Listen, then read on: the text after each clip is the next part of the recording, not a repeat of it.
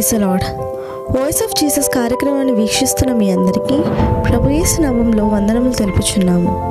Voice of Jesus కార్యక్రమం ద్వారా వాక్యాన్ని రెవరెంట్ ఎన్ ఆశీర్వాదం గారు అందిస్తారు.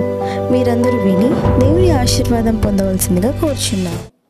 దేవునికి మహిమ కలుగునుగా చూస్తున్న మీ అందరికీ యేసునామంలో వందనాలు. ఈ సమయంలో దేవుణ్ణి మనం ప్రార్థన చేద్దాం.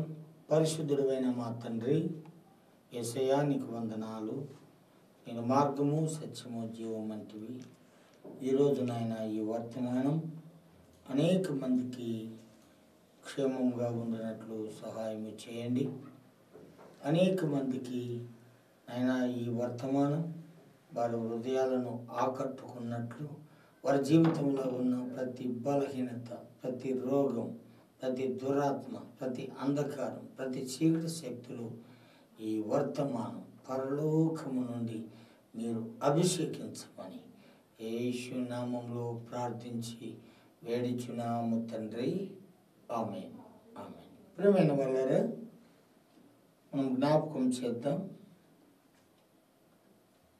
పేతుని మనం జ్ఞాపకం చేస్తే పేతురు యేసు ప్రభుని కలిగి ఉండకుండా పనిచేశాడు. యేసు క్రీస్తును కలిగి ఉండకుండా పనిచేశాడు. మన బలమను మన శక్తను మన జ్ఞానమను అభివృద్ధి పడలేమండి. అందుకని ఈయన చేపలు పట్టడములో మంచి దిట్ట చేపలను పట్టడములో మంచి నేర్పరి. పని చేయడంలో నెంబర్ వన్గా ఉండేవాడు. రాత్రి వల తీసుకున్నాడు. సముద్రానికి వెళ్ళాడు. వలేస్తూ ఉన్నాడు. వలలో ఏ ఆశీర్వాదం కనబడలే. ఆ వలలో ఎటువంటి చేపలు కూడా ఆ వల దగ్గరికి రాలే. రాత్రంతా ప్రయాస. రాత్రంతా కూడా కష్టమే. రాత్రంతా పని చేశాడు. పనిలో కొంచెమైనా ప్రేమైన వాళ్ళ సంతోషం ఉందంటే సంతోషం లేదు.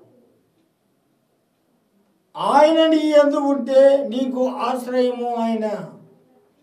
ఆయన నీ ఎందు ఉంటే ఆయన నీకు తోడు. ఆయన నీ అందు ఉంటే నీకు ఉపకారి. నీ ముందు నడుస్తూ నిన్ను నడిపిస్తాడు. ఈరోజు మనం చాలామంది ప్రభు లేకుండా పని చేస్తూ ఉన్నాం. ప్రభు లేకుండా ఉద్యోగానికి పోతాం. పని ప్రభు లేకుండా వ్యాపారం చేస్తాం. ప్రభు లేకుండా గొప్పవాణి కావాలనుకుంటున్నాం. మనం ఎప్పుడైతే ప్రభువు మనల్ని మనం ఆయన్ని ఎప్పుడైతే గనపరుస్తామో మనమల్ని కూడా ఆయన గనపరుస్తాడు మనం ఆయన దగ్గరకు వస్తే ఆయన మన దగ్గరకు వస్తారు మనం ఆయన లోబడి ఉంటే నువ్వు నేను. ఆయన నీ ఎదుట అపవాది నుండి కూడా పారదలుతాడు. హలలుయ ఈయన ప్రభు లేకుండా వలన పట్టుకోపోయినాడు. ప్రభు లేకుండా తన బలాన్ని చూసుకున్నాడు. ప్రభు లేకుండా నేర్పరని తీసుకొని వెళ్ళాడు. ప్రియమైన వల్ల రాత్రంతా ప్రయాస రాత్రంతా రాత్రికాలం గడిచిపోయింది. వల లాగుతూ ఉంటే వలలో చెత్త చెత్త వలలో కప్పలు వలలో పాములు. వలంతా బురదతో నిండిపోయింది. ప్రభు లేకపోతే మన హృదయం మనము కూడా బురద బురద భ్రష్టులుగా ఉండిపోతుంది. ప్రేమైన నా దేవుని పిల్లారా కూర్చున్నాడు ఆయన చింత చేస్తూ ఉన్నాడు. ఆ సముద్రం పక్కలోనే కూర్చున్నాడు. ఏంటి నా జీవితం? నేను పెట్టుబడిన శ్రమ ఏమైంది? వృధైపోయింది నా హృదయానికి సంతోషం లేదు కదా అని చింత చేస్తామన్నాడు నీ చింత యావత్తు నా మీద ఏమన్నాడు ప్రభు? నీకు తగిన కాలం ముందు హెచ్చించడానికి నువ్వు నా బలిష్టమైన చేతుల కిందకి దీన మనసు కూడా ఇవ్వ రావాలి. అప్పుడు నిన్ను బట్టి నేను చింతిస్తానని ప్రభు చెప్పాడు. ప్రియమైన నా దేవుని బిడ్డ నీ శక్తి నీ బలము నీ డబ్బు నీ హోదా నీ పలుకుబడి ఈ లోకములో ఉన్నంత వరకేనండి. నీ డబ్బు నిన్ను పరలోకము చేర్చదు. నీ బలము నిన్ను పరలోకము చేర్చదు. అందుకని వాక్యం చెప్తుంది సురుడా నీ సురత్వాన్ని బట్టి అతిశయపడవద్దు. బలవంతుడా నీ బలమును బట్టి నువ్వు అతిశయించవద్దు. ఐశ్వర్యవంతుడా నీ ఐశ్వర్యమును బట్టి నువ్వు అతిశయించవద్దు. భూమి మీద కృప కలగ చేయవాడు దేవుడని అతిశయించమని వాక్యం చెప్తా ఉంది. ఈరోజు నీవు ఒక ఉన్నతమైన స్థాయిలో ఉన్నావంటే నువ్వు ఒక ఉన్నతమైన అధికారిగా ఉన్నావు అంటే నీవు ఒక ఉన్నతమైన పదవిలో ఉన్నావు అంటే నువ్వు ఉన్నతమైన కృప నీకు దేవుడు ఇచ్చినాడు అంటే అందరిలో నువ్వు గౌరవించబడుతున్నావు అంటే అందరూ నీ మాట వింటున్నారంటే నీ బలము కాదు. నా యేసయ్య నీకు కృపను కలగజేసినాడు గనుక భూమి మీద నీవు వాడబడుచు ఉన్నావు. నీ ఉద్యోగంలో ఉన్నావు. అందును బట్టి ప్రియమైన వాళ్ళ ఇతను ఏటు పక్కలో కూర్చున్నాడు ఒడ్డున కూర్చున్నాడు చింతాకాంతుడై ఉన్నాడు ప్రభు వచ్చాడు. పేతురు ఏమి ఎలా ఉన్నావు? ప్రభు రాత్రంతా రాత్రంతా ప్రయాస నాది. నా పని అంత ప్రయాస. కొంచెము కూడా నాకు సమాధానం లేదు ప్రభువా. కొంచెము కూడా నా జీవితంలో అభివృద్ధి లేదు ప్రభా కొంచెం కూడా ఆనందము లేకుండా దుఃఖమును మిగిలించింది రాత్రి నా పని. రాత్రి నా ప్రయాసంతో కూడా మట్టి పాలైపోయింది. శ్రమ పాలైపోయింది. ప్రేమైన దేవుని బిడ్డ నీ చేతి పని ఎలా ఉందా ఈరోజు? ఎంత సంపాదించినా నువ్వు ఎక్కి రావటం లేదా నువ్వు? ఎంత పని చేసినా కూడా ఆ పనిలో నీకు శాంతి లేదా? ప్రియమైన నా దేవుని బిల్లారా అందుకని వాక్యం చెప్తా ఉంది. యహోవ ఎందు భయభక్తులు కలిగి ఆయన త్రోవలో నడుచు వారందరూ ధన్యులు. వారికి మేలు కలుగును. వారు చేతుల కష్టాజితం వారు అనుభవించరు వారి లోగిట వారి భార్య పల్లిస్తుంది ఆ బల్లా చుట్టూ నీ పిల్లలు ఒలివ మొక్కల వలె సువాసన వస్తారు. యేసుక్రీస్తునందు భయభక్తులు కలిగిన వాడు ఈ విధంగా ఆశీర్వదించబడతాడని వాక్యం చెప్తుంది. అయితే ఈయన అంటాడు నేను మాత్రం ప్రభా రాత్రి అంతా ప్రయాసపడినానంటే ప్రభు అంటాడు నువ్వు పై పైనే చేసినావు పని. నీ భక్తి పై పైనే. నీ పని పై పైనే చేసినావు. మనుషులు చూడాలని చేసినావు. దేవునితో కలిసి నువ్వు చేయలేదు. దేవుడు గుర్తించాలని నువ్వు చేయలేదు. దేవుడి చిత్త ప్రకారంగా నువ్వు చేయలేదు పేతురు. నీ అనుభవం కొంచెమే. నీ ఆలోచన కొంచెమే. నేను అనుకున్నావు గనుక నీ పనిలో నీకు ఆశీర్వాదం లేదు. నీ జాబులో నీకు ఆశీర్వాదం లేదు. నీ వ్యాపారంలో నీకు ఆశీర్వాదం లేదు. నీ పెట్టుబడిలో నీకు ఆశీర్వాదం లేదు. నువ్వు అనుకున్నావు నా బలం అనుకున్నావు ఇదిగో నేను చెప్తున్నాను పేతురు లోతుకు వెయ్యి లోతు అనుభవం కావాలి. నువ్వు మాట్లాడేటప్పుడు లోతుగా మాట్లాడాలి. నువ్వు పని చేసేటప్పుడు దీన్ని ఆలోచన చేసి లోతుగా పని చేయాలి. లోతుగా నీవు వెళ్ళకపోతే లోతుగా నువ్వు ఆలోచన చేయకపోతే లోతుగా ప్రభుని నువ్వు ఎరగకపోతే ప్రభుని నువ్వు నమ్మకపోతే ప్రభు లేకుండా నువ్వు చేయడం ఇష్టపడితే నీ పని ఫెయిల్ అయిపోతుంది నీ కష్టం ఫెయిల్ అయిపోతుంది నువ్వు పెట్టిన పెట్టుబడి పారే నీళ్ళలో చింతపండు కలిపినట్లుగా పారిపోతుంది. ఈరోజు దేవునితో మాట్లాడుతున్నాడు ప్రియమైన దేవుని బిడ్డ. పేతురును నీకు పోలికగా పెట్టాడు. పేతురు అనుభవము నేర్పిస్తున్నాడు నేర్చుకో. పేతురు ఏ విధంగా లోతుగా నడపలేదు లోతుగా వల వేయలేదు లోతుకెళ్ళి పని చేయలేదు లోతుకు వెళ్ళి చేపలు పట్టలేదు లోతుగా వెళ్ళి దేవుడు లేకుండా చేశాడు. ఆ విధంగా నువ్వు చేస్తూ ఉన్నట్లయితే మార్చుకో. పేతురు మార్చుకుంటున్నాడు. నువ్వు కూడా మార్చుకో.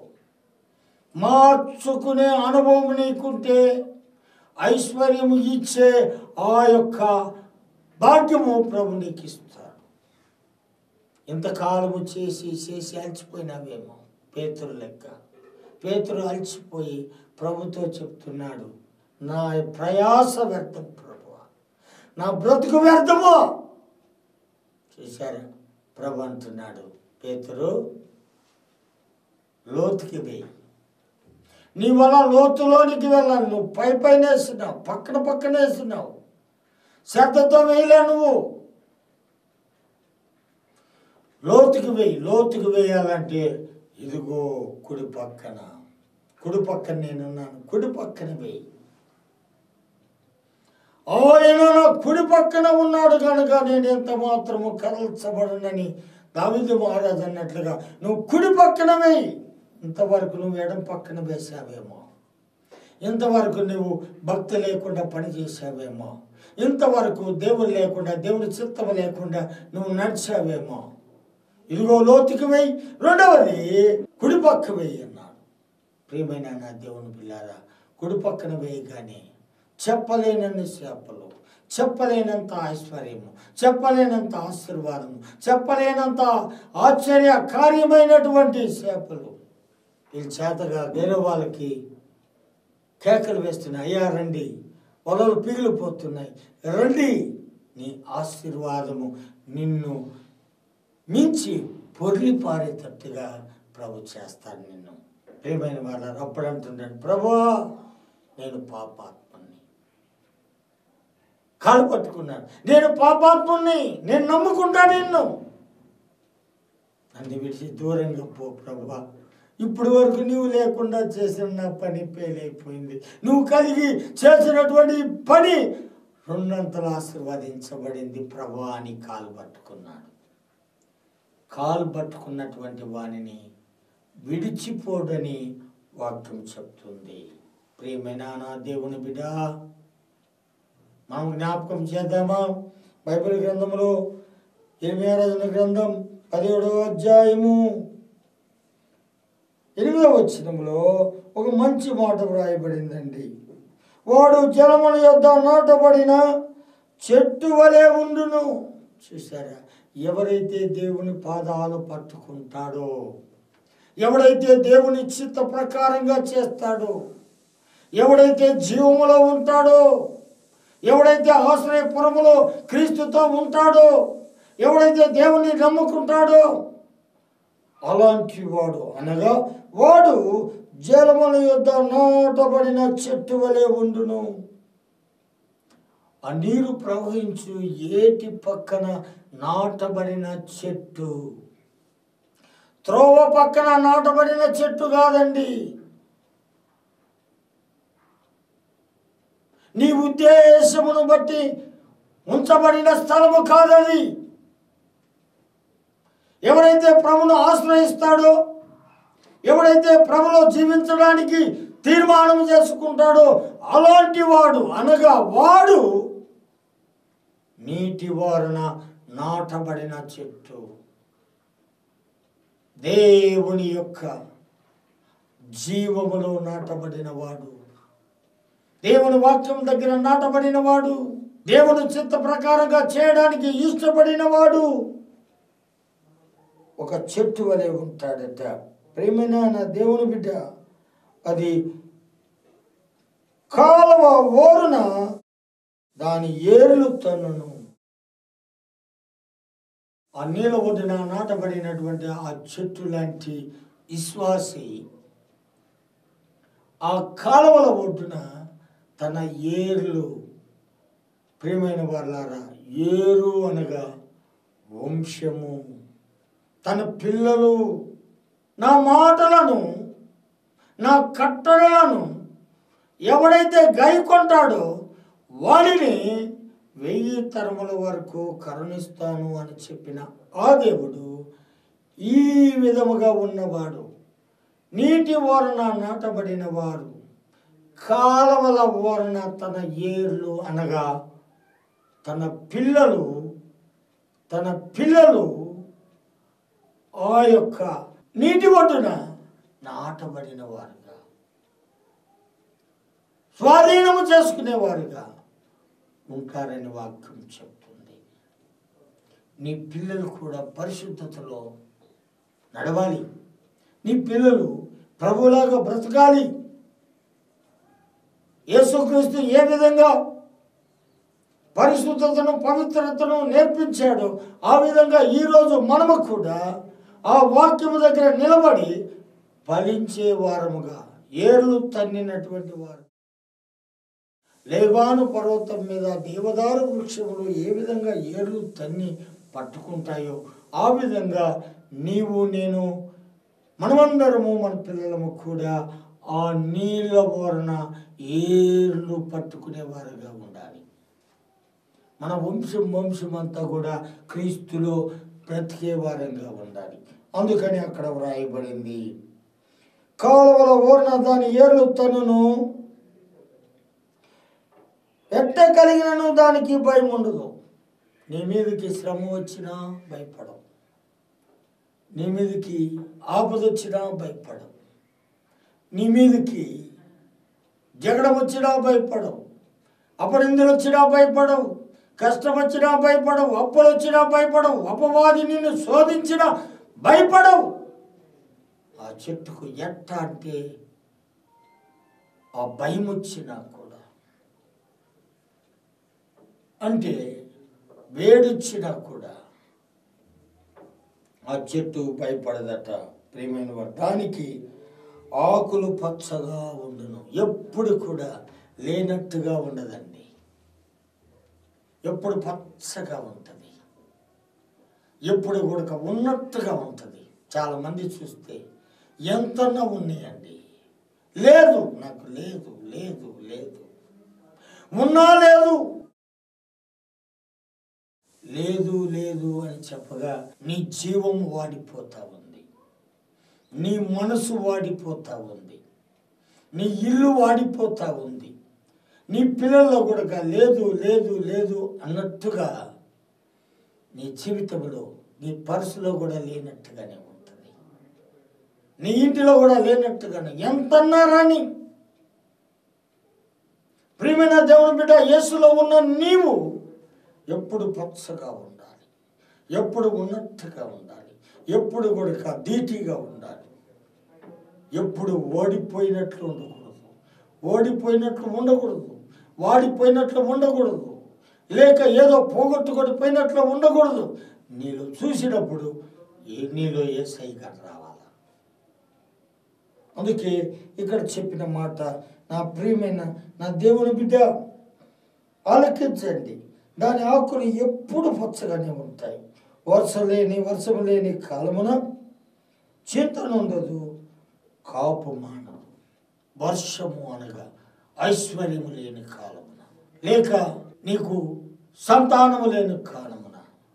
లేక లేమి కలిగిన కాలమున. లేక ఆకలి దప్పులతో ఉన్న కాలమున. నీ చేతిలో సిల్లుగవ్వ లేకుండా ఉన్నటువంటి కాలం. వర్షము లేని కాలమున ఆశీర్వాదం లేని కాలమున ఎంత మాత్రము కూడా ప్రియమైన చింతపడదట చింతే లేదు. నా ఏసయ్య నాకుండగా ఏమి నాకు చింత. చూసారా ప్రియమైన వాళ్ళరా చింతే లేదు నాకు అనుకుంటుందట కానీ కాపు మానదట. మేలు చేయకుండా ఉండదంట ఆ చెట్టు. ఆ వ్యక్తి మేలు చేయకుండా ఉండడు. ఎవరన్నా కష్టంలో ఉంటే ఎవరైనా ఎదువరాళ్ళు బాధపడుతుంటే తండ్రి తల్లి లేని పిల్లలు బాధపడతా ఉంటే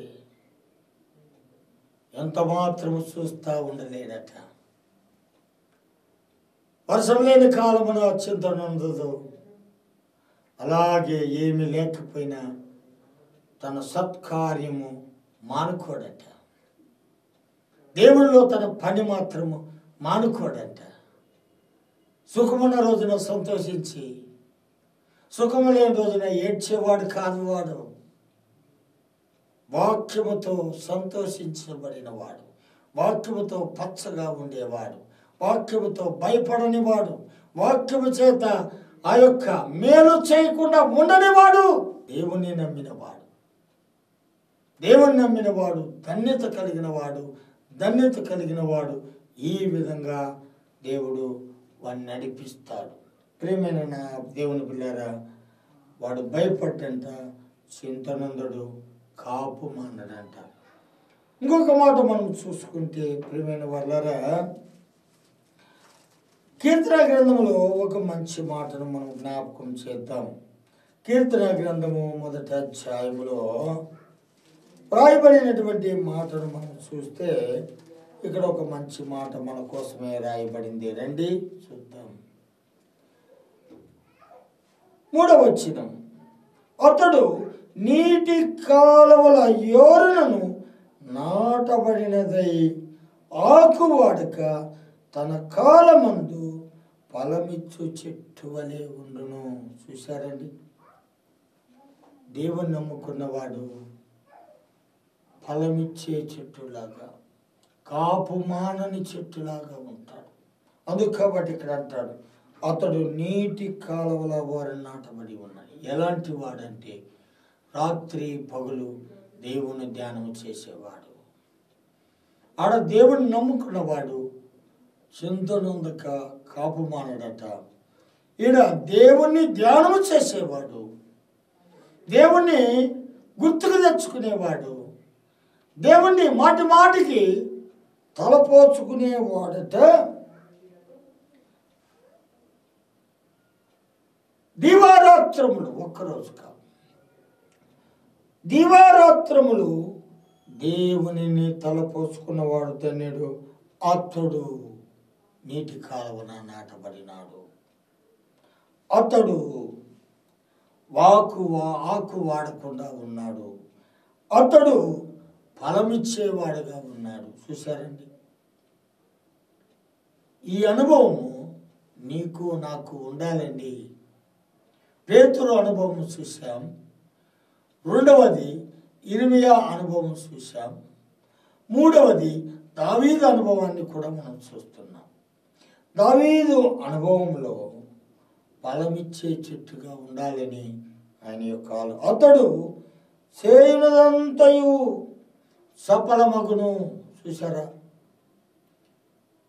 ఎవడైతే ప్రభు దగ్గర ఉంటాడో వాడు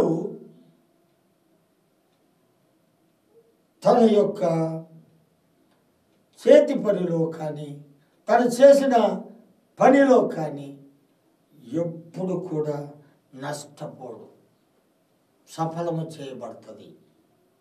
కాబట్టి ప్రియమైన వాళ్ళరా ఇరిమియా అనుభవం వాడిపోని అనుభవం. దావీదు అనుభవం సఫలపరచగలిగిన అనుభవం. పేతుల అనుభవం తెలుసుకున్న అనుభవం.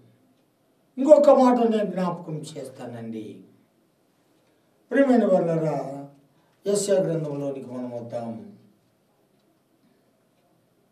యశ్యా గ్రంథము యాభై ఆరో అధ్యాయములో ఒక మంచి మాట మనం జ్ఞాపకం చేద్దాం. యాభై ఆరో అధ్యాయము.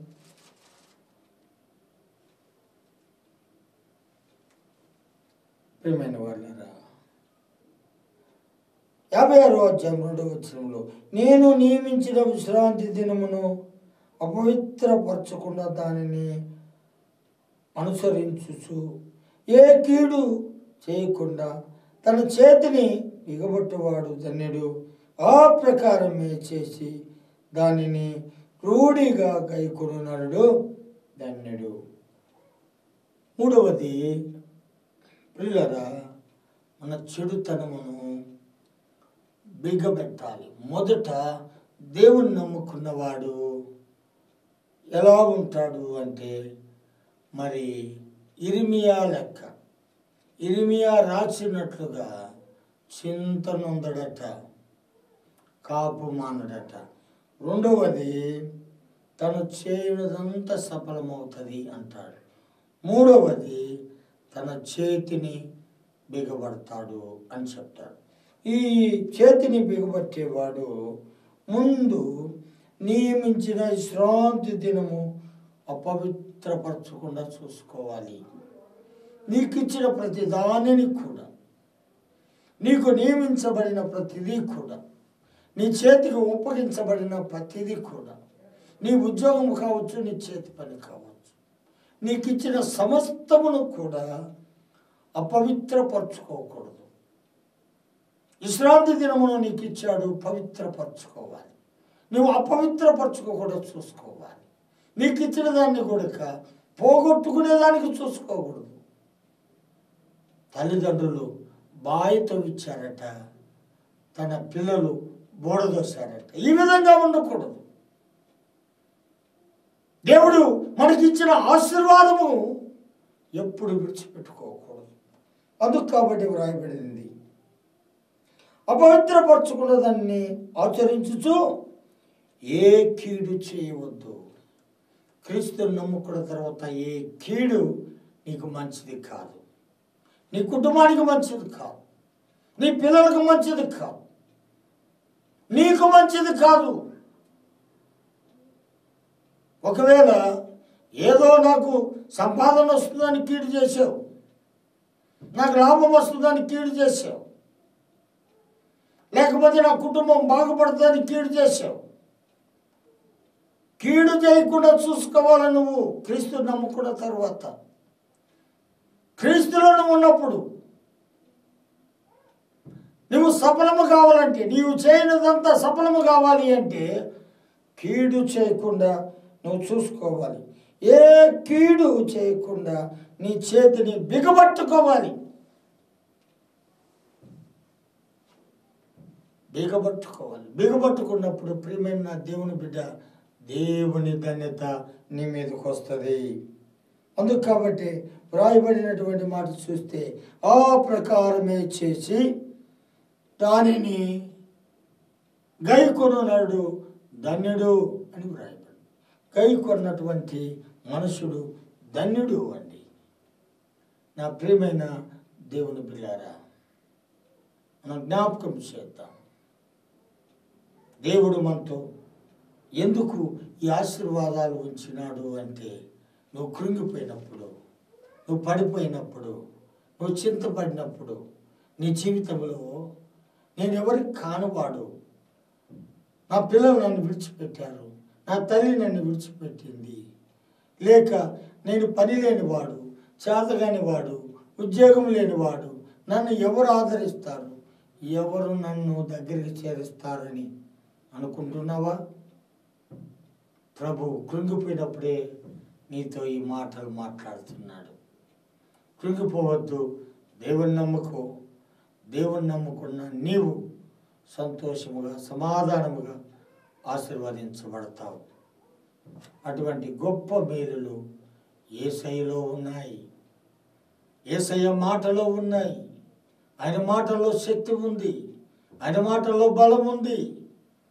ఆయన మాటను విని నీ జీవితాన్ని బాగు చేసుకో. అటువంటి కృప దేవుడు నీకు నాకు దయచేయనుగాక. ఆమె పరిశుద్ధుడమైన మా తండ్రి నీకు స్తోత్రం. ఇదిగో నాయన మా ముందు పేతురును ఉంచావు. మా ముందు ఇరిమయాను ఉంచావు మా ముందు నాయన దావీదును ఉంచావు. మా ముందు ఎసయాను ఉంచావు. నాలుగు అనుభవాలు కలిగిన ఆయన యేసులో జీవించడానికి సహాయం చేయండి.